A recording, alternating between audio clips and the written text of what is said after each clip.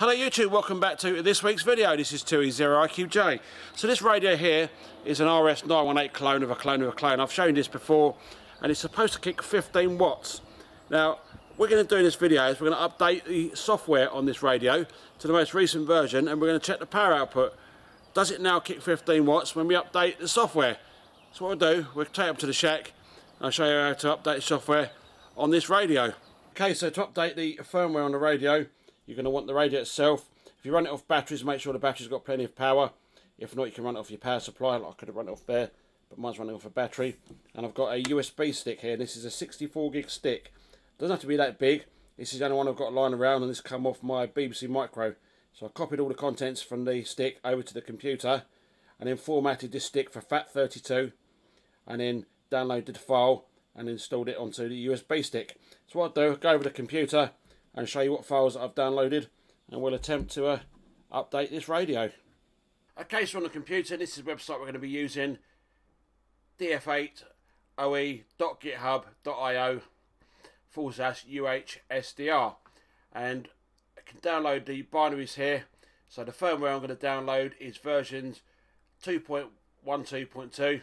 Now my bootloader is current at 504. I'm not going to download that one because I've got the current one installed on my radio. To install the bootloader, you need um, a separate program to do that, and I won't cover that in this video. And I think the program's only for Windows, and I don't have a Windows machine anyway. Lucky enough, my bootloader is is a later version, 504. So once we click on 212.2, you'll get here. We're going to click on MCF, and we want to download firmware mchf.bin, which is 347 kilobytes. So it's not very big big file. And you can save that to desktop, which I've already done there. All we're going to do now is drag the file over to the USB stick. And now my USB stick's been formatted for FAT32, so 64 gig stick. I'm going to drag that over to there. And it's copied it across. Now we're going to go back over to the radio and hopefully get the radio to update. Okay, so to check the firmware and the bootloader, of the radio. Going to press F1. We're going to use the dial here, which is RF. Going to go all the way down to system info. So we can go down, and we're going to use the dial, which is RIT. We go down again. See here, it's got my firmware, which is nine, uh, sorry, 2.942. Go down again, and there's my bootloader, which is five. 0.0.4 which is the most recent version.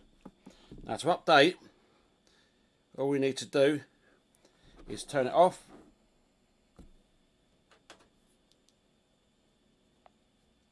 This is where it could go wrong. Insert our USB stick to side the radio. Press the band minus button and power it on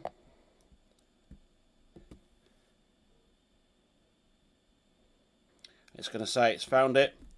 The USB stick, if I zoom in, it should update the firmware. Finished.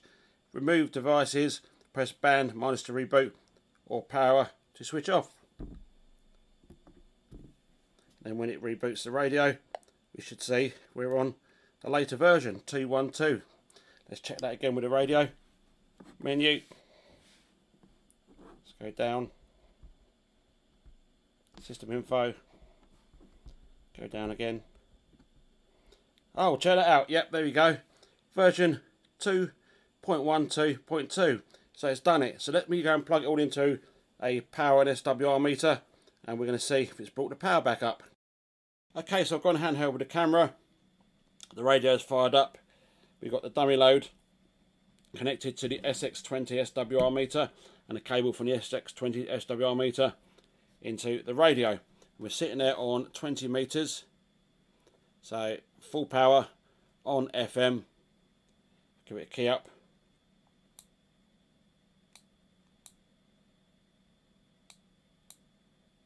I'd say about 8 or so watts. So let's put it into sideband. Press the mode button. Upper sideband. Give it a test. Audio. Audio, check to check. Probably getting about 5 watts, between 4 and 5 watts on sideband. So let's go up to 10 meters. 28 megs. And we're going to go to FM, which is FM wide. Let's give it a key up and see what sort of power we're getting. Probably getting around about 4 or so watts on FM. Let's change the mode to sideband. So in the upper sideband, let's see if we give it a key up. Audio, check, check, check. Audio. Around about two, if I go a bit closer to the mic. Audio. Audio. So I'd say about two, two and a half to three watts on sideband on 10 meters. So what I need to do is uh, go back and watch my previous video and find out whether the power levels were different or, or were they the same or were they less or anything like that. I'll, if they were, then I'll post it um, on the screen. Let's go down to 24 megs. There we go, 24, uh, 616. Now you see there, it says 50 milliwatts. Now I don't know what I do. If I change the power, which is that one there, I can't change it anymore from 50 milliwatts. That's on 15 meters. Won't let me change it no matter what. wonder if I can change the mode. I can change the mode, USB and PA. Try again. Again, it's not letting me change it. So what I need to do uh, in the week is go through the radio, see what the new software has done. Maybe the software will decode Morse code better. Don't know. Maybe it's made the, the radio um, less power. Maybe it's the same. But I'll look it up when I go to edit the video. I'll watch the other video and see what the power levels were. So we are, the RS918 clone of a clone radio. We updated software using a USB stick formatted for FAT32 and I use a 64 gig stick. You can use any one you've got lying around as long as it's formatted for FAT32 you'll be good to go. Now to update the bootloader you need a separate program for that and that only runs on Windows apparently so uh, didn't need to do that on this one because it's the latest version and I showed you how to check the bootloader version uh, going through the menus. Now in a week I want to play around with different firmwares, get different firmwares off that website, load them onto this radio and see what happens, see if it's going to bring the power up. And when I go to edit the video, uh, I'll check the previous video I did on this for the power output, which is about a year ago. I'll check that and see if the power output levels are any different, whether they're less, whether they're more, and I'll post it up on the screen. So anyhow, nice and simple to update this radio. If you found a bit of some use, know what to do give it a thumbs up if you don't like the video, the button seems to work too.